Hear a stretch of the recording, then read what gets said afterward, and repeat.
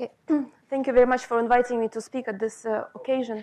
So, first, um, so the first part of my talk is a tribute to Partha. It's pretty much left as it was in 2001, 2002, when I met him. Uh, I was, uh, well, a little bit earlier, a few years before that, I was uh, in Princeton, uh, a member at the Institute for Advanced Study. Martin Nowak was my boss, and Partha was a visitor uh, at the Institute for Advanced Study. And uh, the three of us uh, developed um, this framework of describing the evolution of language.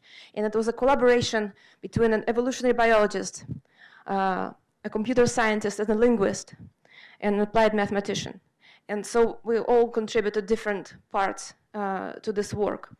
And uh, I must say that my collaboration with Partha was one of the most inspirational ones. Uh, it, it, we were there at the Institute in the Woods working late at night by the blackboard, scribbling on the blackboard for hours.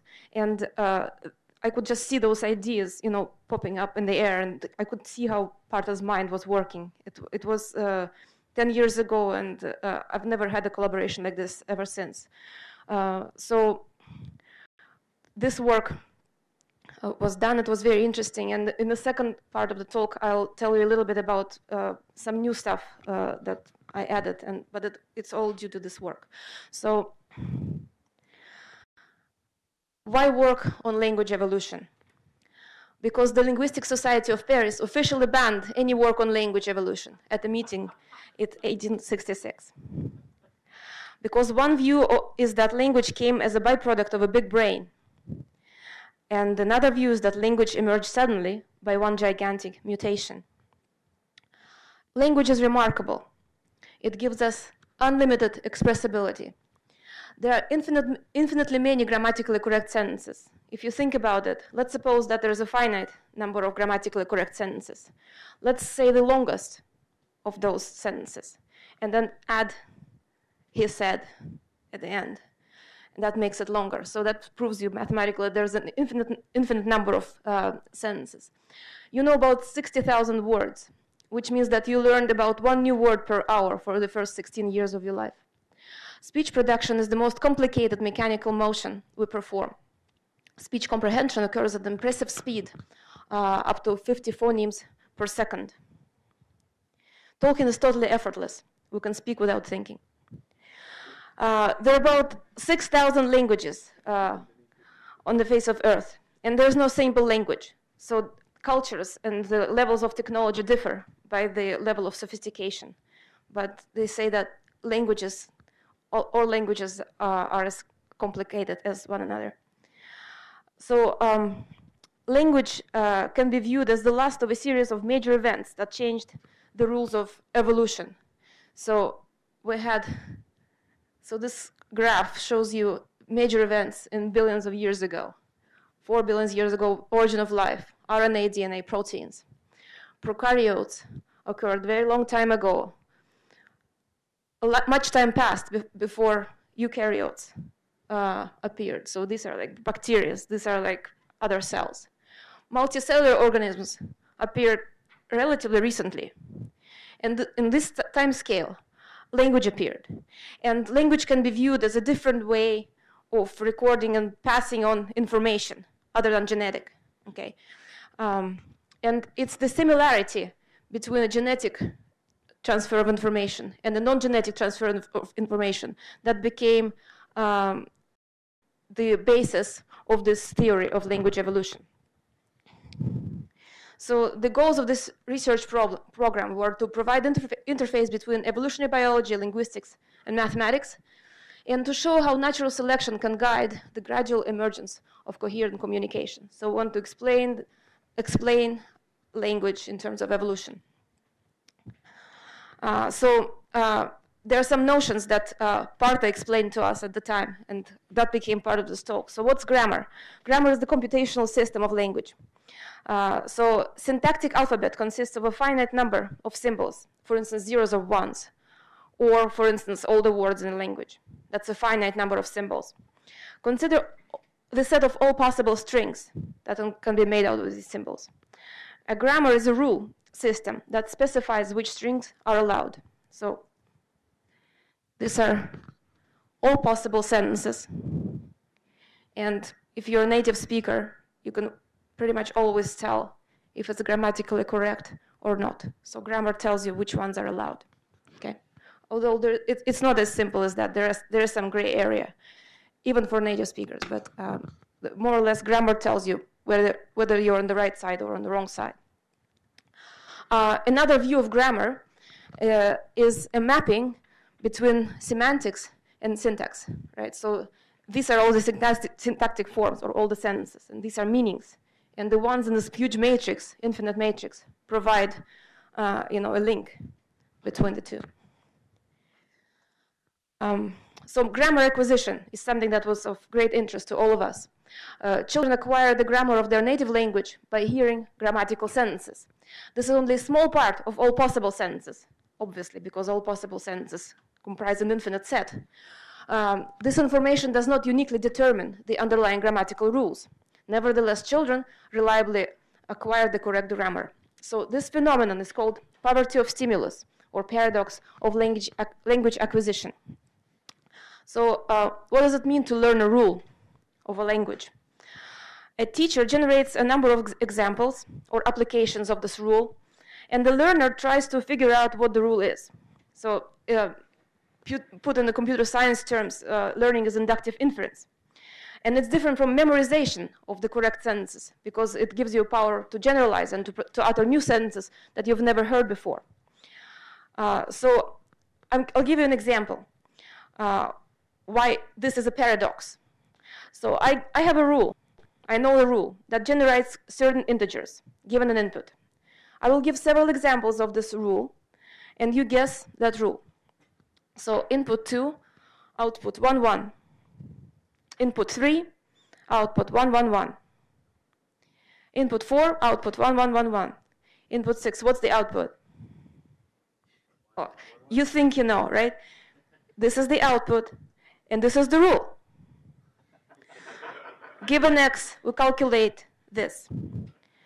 Um, so once I was giving this uh, uh, uh, talk, and uh, only once in my career, a Hungarian mathematician said that this was completely obvious, right? So, so,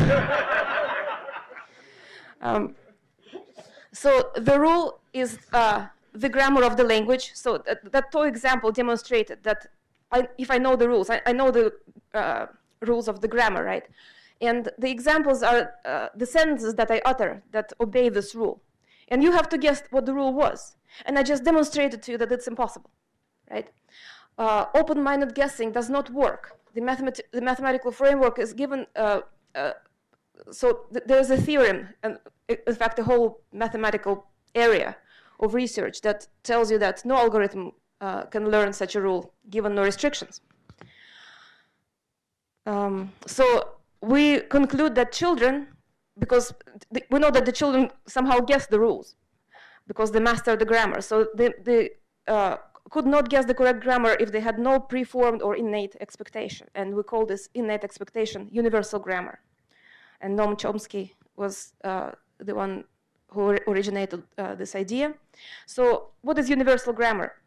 Somehow all of us, when I gave you the example, believed that this was the rule. This is a mathematical in interpretation of the rule one, one, one, one. You know, the number of ones is equal to the input that I give you. Uh, so we know that this is possible somehow, and this rule is impossible. We would have never guessed it.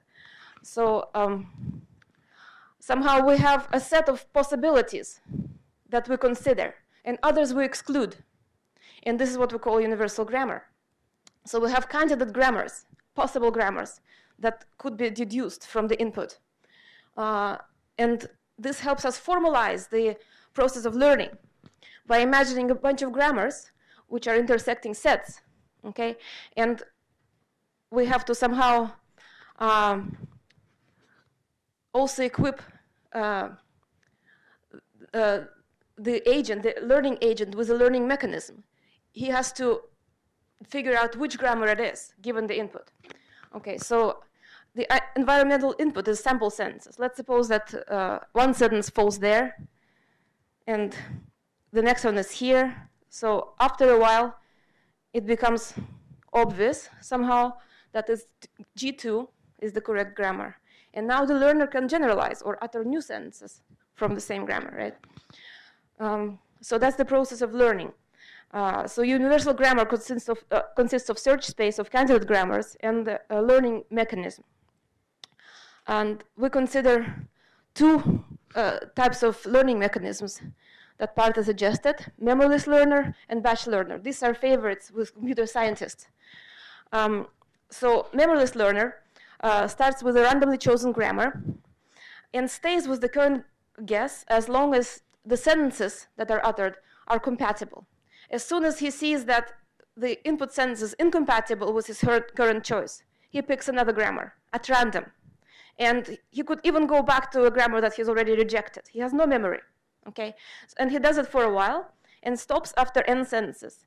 Uh, and will hopefully, uh, after n sentences, uh, if n is large enough, uh, there's a good chance that he will converge to the correct grammar. Um, the batch learner is, uh, in some sense, an opposite algorithm. He memorizes all n sentences. And then at the end, he decides which grammar is the most consistent with all these sentences. This is a very efficient learner compared to the previous one, but he requires an infinite memory. Okay. So it's not known how humans uh, perform their learning tasks, uh, but it's hypothesized that the human algorithm is somewhere between memoryless learner and batch learner. We're not as silly as this, but we're not as efficient as this. So in some sense, if we get bounds on this and this, this will be lower and upper bound on what humans do. Um, so convergence of individual learning algorithms. Uh, so that was a mathematical task, right, to calculate how quickly an algorithm converges. Uh, let's suppose we have n grammars, and the teacher uh, spits out n sample sentences, n capital. Uh, and we consider a pairwise similarity between grammars. So GI, GJ are two grammars. They intersect somehow. And the measure of that intersection, it's an asymmetric uh, function, uh, will, is called uh, pairwise similarity. It tells you pretty much the probability that uh, if I speak GI uh, and I say a sentence, then the speaker of GJ will understand what's the probability of that. So that's measure of intersection. So um, we assume that pairwise similarity of grammars is, a random variable taken from a certain distribution because we don't know how real languages, you know. So we, we, we take, we, we just make a, an arbitrary distribution. And the question is how many sample sentences does on average a learner need to learn the correct grammar with a certain confidence? How many input sentences do I need? And um, this is a very interesting uh, mathematical problem, which I think I'll skip. Uh, and um, I'll give you the answer for uh, the memoryless learner. This is the most interesting one. So um, if you don't assume anything special about the probability distribution of pairwise similarities, um, then the number of sentences that need to be uttered is proportional to n log n, where n little is the number of possible candidate grammars. So if I have a huge selection of different grammars that could be the correct grammar, it takes longer to, to converge onto the right one. Okay, and it's, uh, okay. So, and we also have an answer. So this was for the memoryless learner. For the batch learner, it's much, it, it's, it's somewhat faster. It's n, okay? So um, now, how does evolution come in here? We so far have talked about the um, traditional computer science approach to uh, learning. There is a teacher and learner pair, a teacher and a learner. Teacher says sentences, learner uh, guesses the grammar. So now we go to population learning. learning. We consider a heterogeneous population of teachers and learners and the evolutionary dynamics that occurs from generation to generation. And we see how the language evolves. Uh, evolves. Um, so let's suppose that we have a, a, large number of individuals. They reproduce and die. Children learn the language of their parents. So individual learn learning comes in here. Uh, learning is not perfect due to errors uh, of learning or innovations. Maybe I don't want to learn the correct language, right? Maybe I want to invent something new. So that's uh, an imperfection of learning. Uh, and we, we will also assume that ability to communicate well is associated with biological fitness. So somehow if I can communicate better than others, it gives me a small, very small increment uh, in my fitness. Maybe I will be able to teach more children my language, okay, because it's more efficient. Uh, so everybody starts off by speaking all different languages. We, could, we just assume that as an initial condition. And the coherence is low. Nobody understands anybody very much. We run the evolutionary process.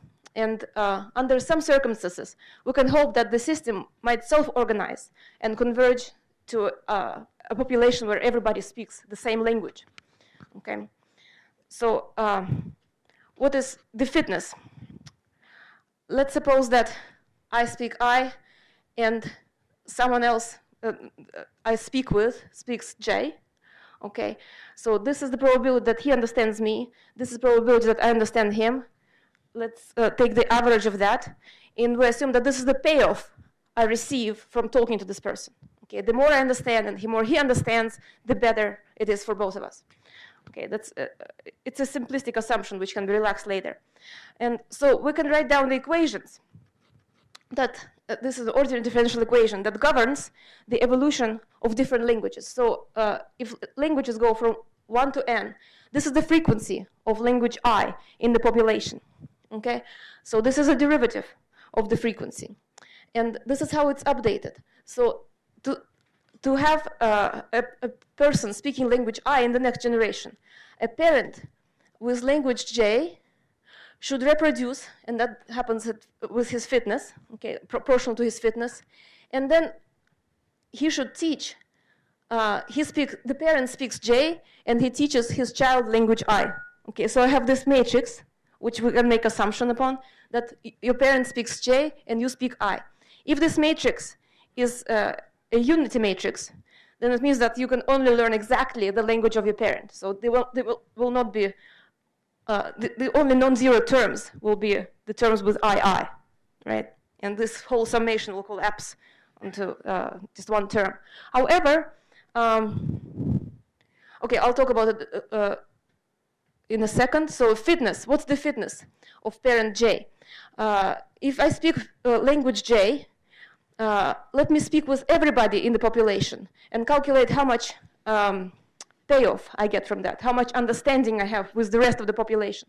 So my fitness depends on the uh, present composition of the population, what languages are spoken at the moment. So this is this. Uh, and uh, as I said, Qij is the probability that the learner will acquire uh, Gj from a teacher with I. Okay, so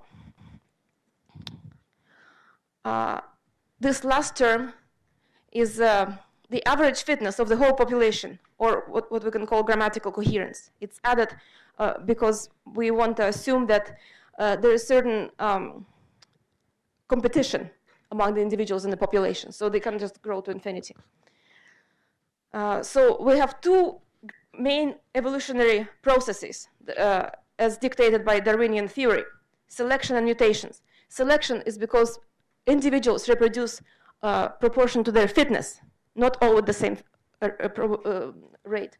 And mutation is um, the, the possibility of change. Okay, so what are these mutations? Um, if uh, J and I are languages which are very close to each other, this could be ascribed to uh, learning mistakes or innovations, right? And very far off diagonal terms could be taken zero. But in general, we have this matrix. And we have a nonlinear third order non-sparse system of ordinary differential equations to solve.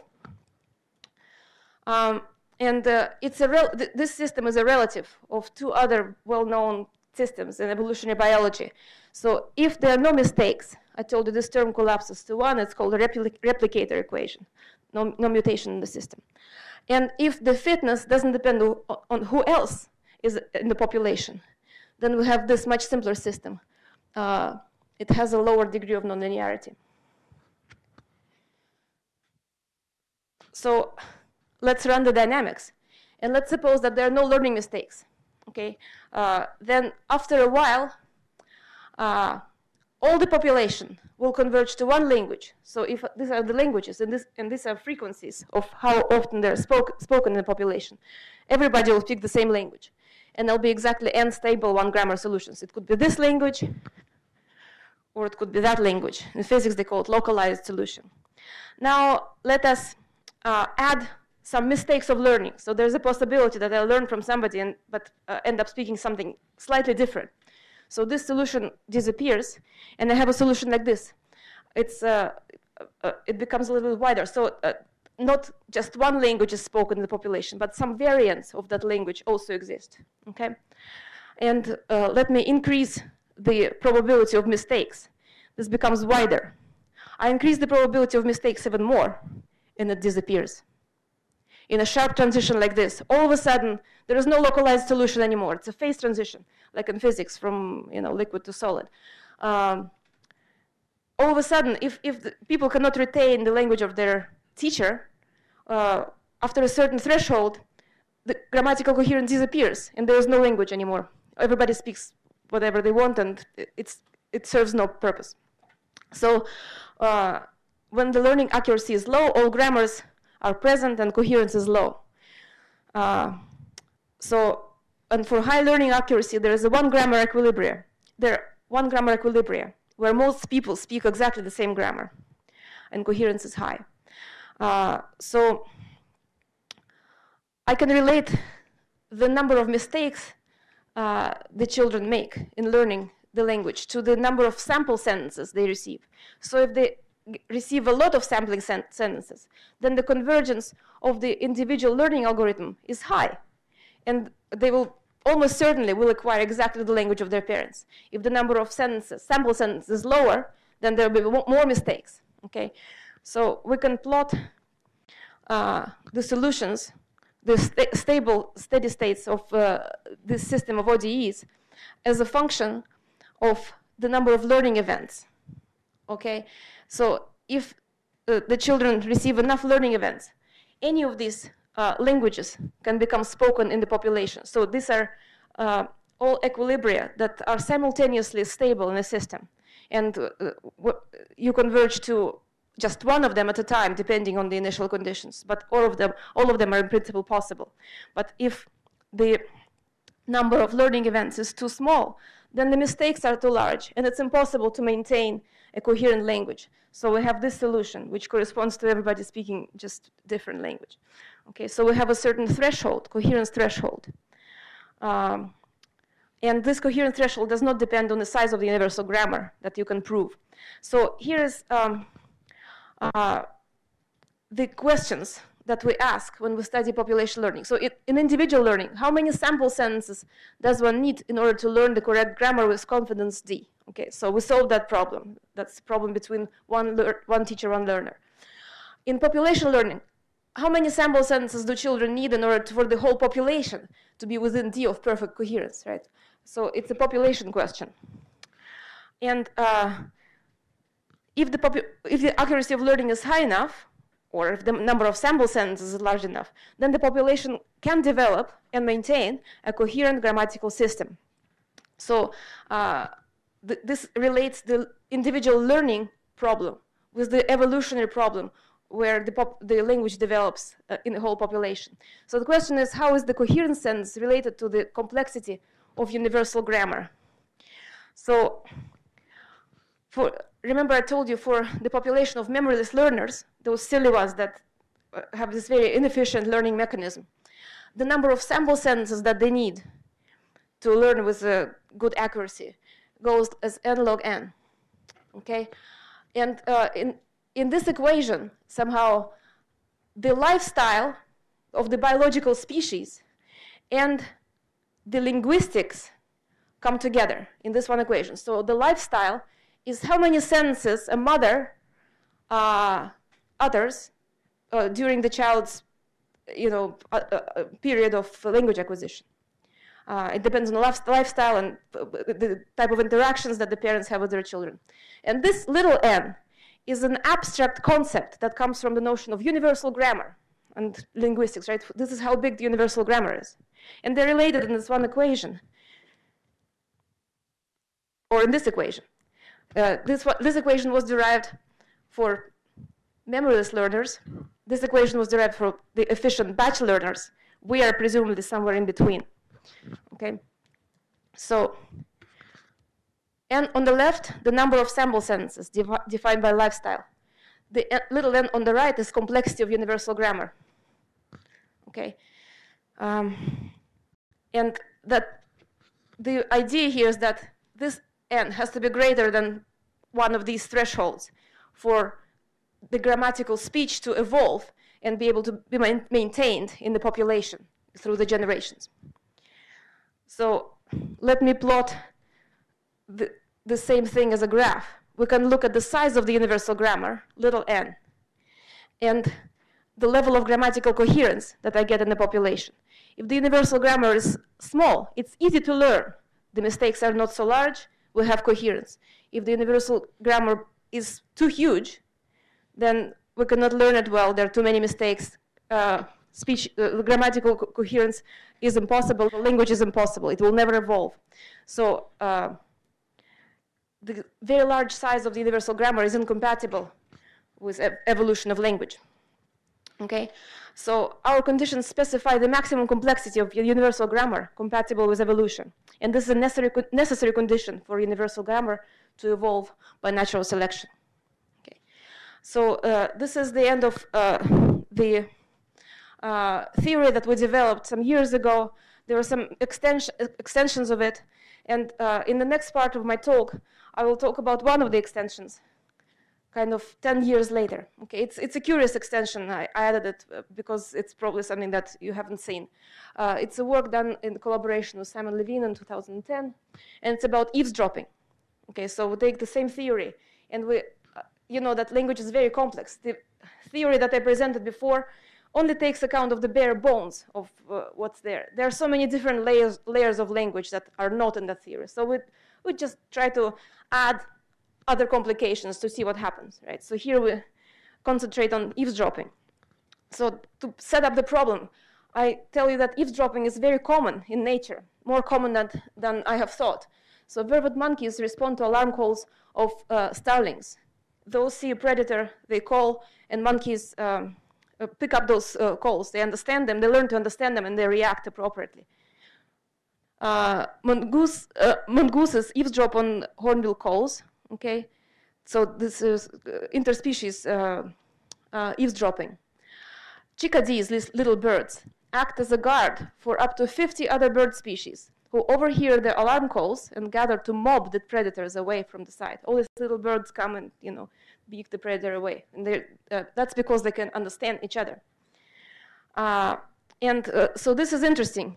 This species doesn't talk; they don't have any calls, but they learn to hear and to interpret the calls of seagulls. Okay. Uh, and there are different contexts of eavesdropping. Uh, so there is competition. These squirrels and blue jays, I think they hide their food in the same places. So it's important for them to learn the speech of others to kind of see where they're hiding their food, stuff like that. So they compete, compete for the hiding places. Uh, so there's coopera uh, uh, cooperation. It's the opposite, right? These little birds understand each other and they want to unite uh, and uh, fight the, the predator. this is prey eavesdropping on predators. So these guys understand infrared signals. These people learn to utilize that. They wave their tails and they produce a certain misleading infrared signal to uh, to scare this off. Okay, uh, and this species of fireflies, uh, here the predators fake the call of the prey. So one of the firefly species is a predator, the other one is a prey. The predator who wants to eat the prey fakes uh, a mating call of the prey. The prey comes to the call and gets eaten. Okay so all these different uh, scenarios are possible in um, the animal world. In humans, eavesdropping is uh, essential when two groups of people are at war, in competition, or hide, are hiding something from each other. So tribal conflicts, criminal slang, Okay, we want to hide things from each other. Youth slang, they want to hide something from us. Um, so here, uh, communicating pair uh, is uh, the traditional computer science approach, as I mentioned, one speaker, one here. And now we add an eavesdropper. Uh, and we want to explore uh, how this influences the evolution of language. So actually, this is an interesting, this can be generalized in many interesting ways because uh, before, let's call this a communication network. It's a very simple communication network. Just two people are connected, right? This makes it less trivial. This is a more complex, complex communication network. And you can make it even more complex. Uh, so this is the first step in trying to uh, understand how these more complex, complex communication networks affect the evolution of language. Um, and uh, so let's suppose we have uh, n communicating agents, each equipped with a language, m different languages. I apologize for change of notations because I didn't match the two talks. And so uh, we'll look at uh, languages in different configurations just to explore what can happen. So here, uh, this language is a subset of uh, the next language. So we can say that this one is more complex than this, okay, if it uh, in, in, encloses it. And this is a non-hierarchical chain. We just, but we can say that this language is further away from this language than this language. So we can kind of measure the distance between languages. So these are artificial, you know, configurations of different sets. And uh, so let's suppose that she's a speaker or sender, and he's uh, re the receiver, and they both get a payoff for talking or understanding. And we assume this time that uh, the payoff may be different, okay? So she gets something from conveying the information to him. He gets something for receiving the information. It's not necessarily the same value uh, and he gets something too. So he gets the information, uh, he gets a payoff. And because he overheard their information, maybe it's secret information, so you, you have a negative term here because they lose something because he overheard it. Like if two uh, uh animals talk about a source of food and the third one comes and overhears it, he can go get there faster and eat it. So basically, uh, that's the uh, cost. So we have gain coefficients, and we have cost coefficients. And, and we have a, a cost uh, for, uh, which is a result of eavesdropping.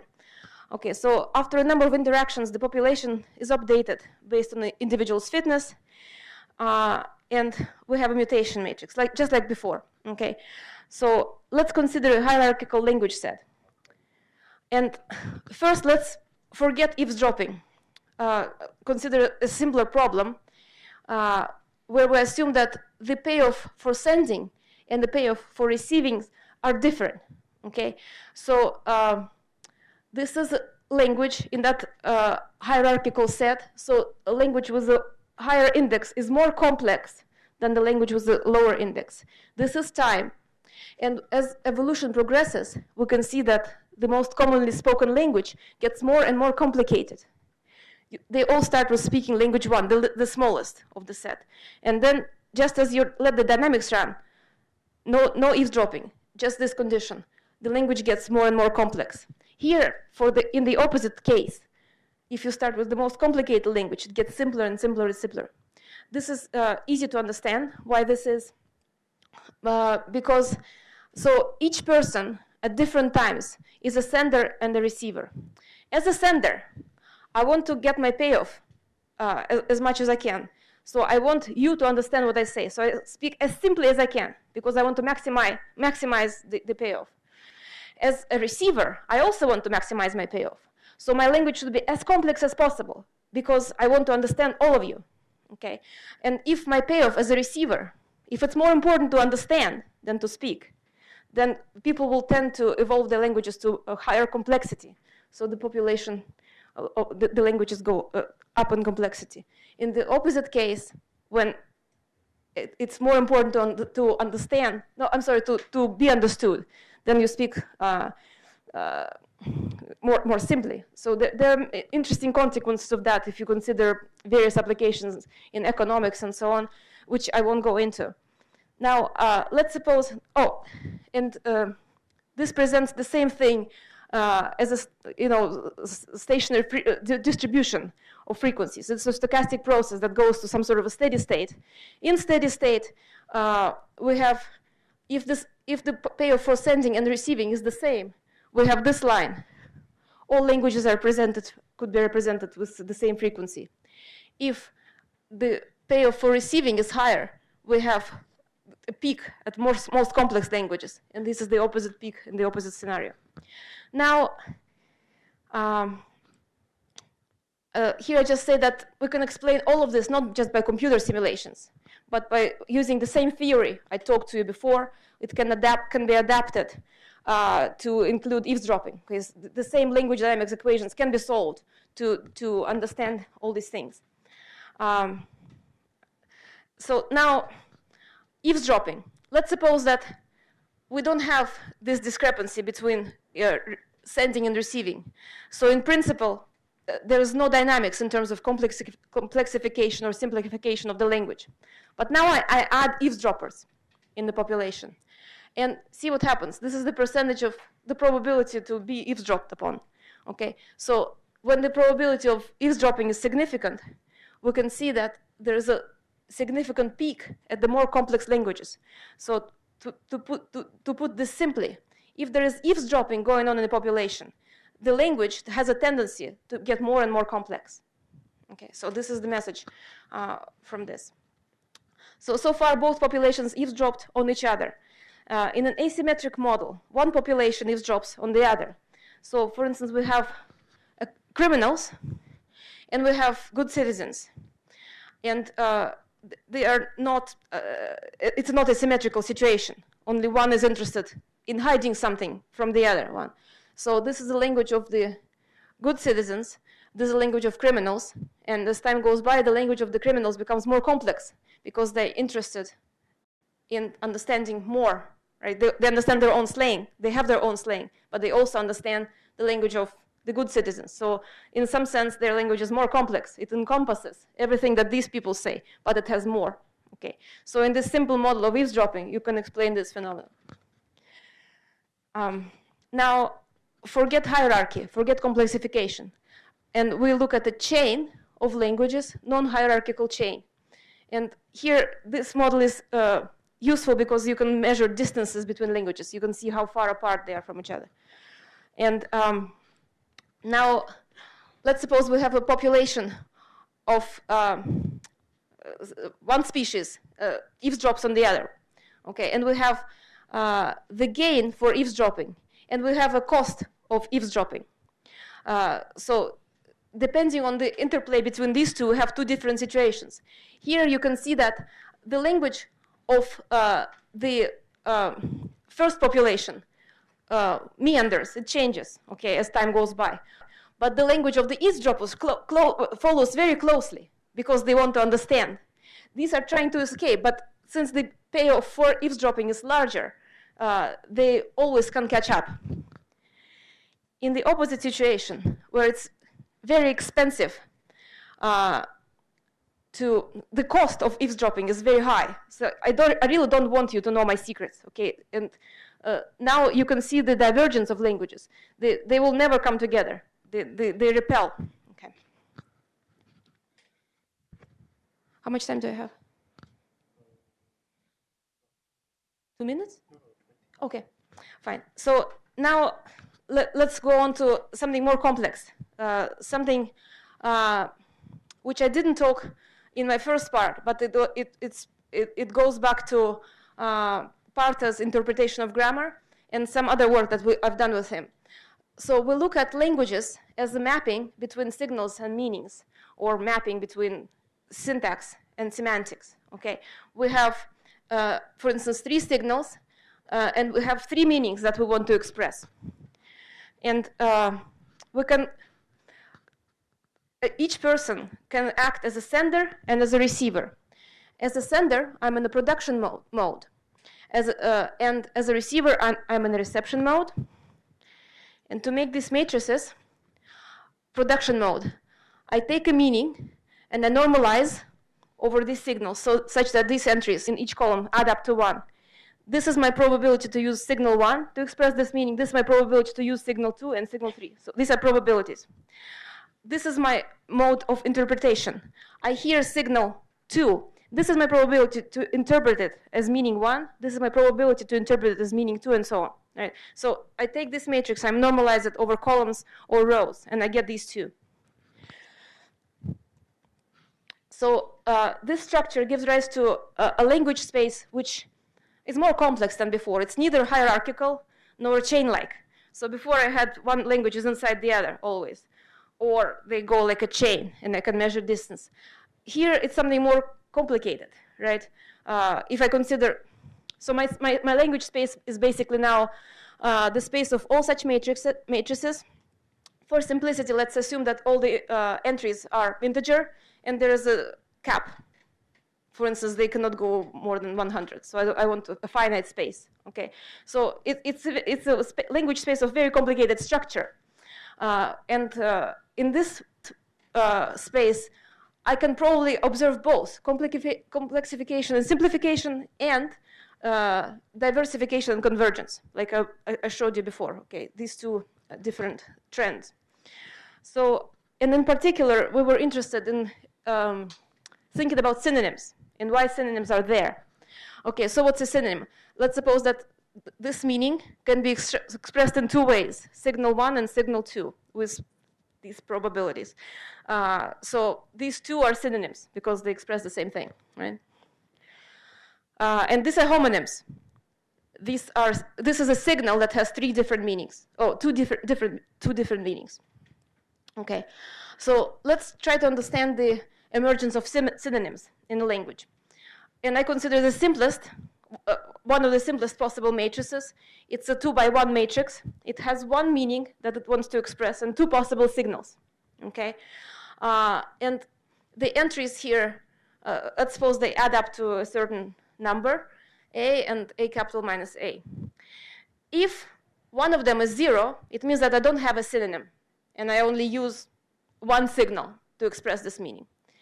If both of them are non-trivial, then these are two synonyms that express the same. Okay? And um, I run my simulations, uh, and let's suppose that memory takes a little bit of a, has a little bit of a cost. Let's charge uh, people for having extra signals in the language. Okay? In this case, um, we have this situation. So no eavesdropping. Uh, everybody either has the first entry or the second entry, and nothing in between. Okay, in the absence of eavesdropping, uh, the population converges to one language where everybody uses the same one signal to express this meaning. Okay, as soon as I add eavesdropping, the situation changes completely. In the presence of eavesdropping, it's, uh, it pays off to use more signals to express the, uh, the same meaning, to confuse them. Okay, this is done to confuse the, the eavesdroppers. And you can see it mathematically, you can prove it mathematically that th this is indeed uh, the state that you converge to. Okay, so adding a little bit of eavesdropping overrun, overrides the cost of having extra signals. And uh, the population starts speaking in synonyms, uses different words to express the same thing. Uh, this shows the same thing. So uh, this is, I have a population, of, say, of 100 individuals and I look at the first entry of their matrices. Each person has a matrix, uh, language matrix. I look at the first entry, and this is time. Here, everybody has the first entry 1 and the other entry 0. And then language switches for some reason, because there are mutations in, in this process. Now everybody uses the other signal, but they never use both. I add eavesdropping, and everybody always uses both, both uh, signals. Okay let's see if I can observe the same phenomenon in, in, in a more complex uh, case. I have two meanings now and three possible signals. Okay, um, so more than one element in a column corresponds to a synonym.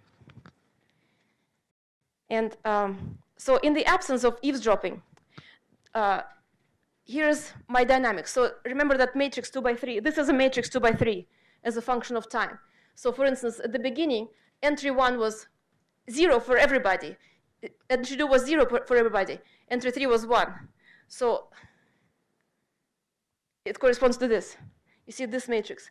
Uh, I have a third entry, uh, non-zero, and uh, th this entry is here. Okay, so everybody, uh, almost everybody in the population had this language matrix where we have two signals and two separate meanings. And then language evolves. Sometimes things switch around, but we always kind of keep uh, this uh, one-to-one -one correspondence between a signal and a meaning. And one signal always gets unused because it's an extra one. Nobody wants to have synonyms. I add eavesdropping, and now, look, there, these are two synonyms.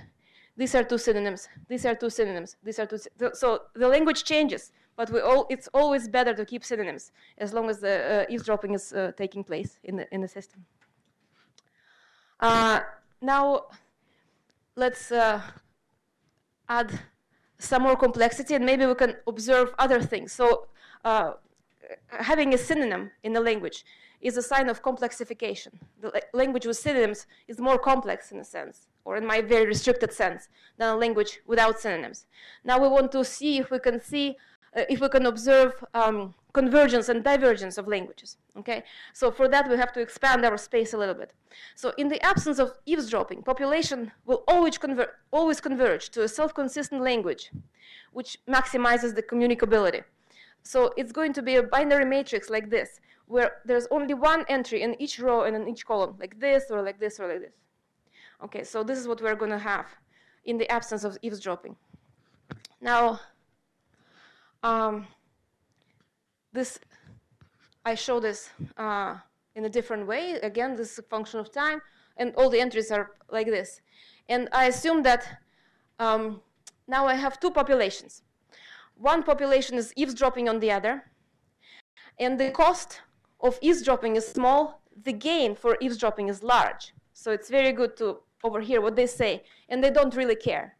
So now I, uh, you can't really see it, but I have two lines, black and gray. And you can see that they're almost on top of each other. So the languages are the same. The language of eavesdroppers converges to the language of the, the victim population, right? Because of this uh, condition. Uh, in the opposite scenario, I don't know if you can see uh, gray from black here, but they are never together. So if, it, if the cost of eavesdropping is very large, the population of victims will always modify their language to avoid being understood by the eavesdroppers. So there's a certain repulsion between the two, between the two languages.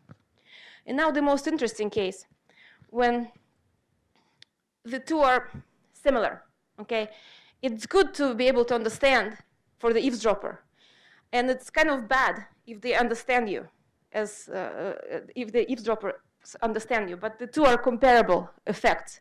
So now it's the same, the time axis is the same, the same number of time steps. And you can see that the languages here were quite stable. They never changed within this time frame. Here we have a lot of instability because one population is the same picture magnified. One population is trying to escape.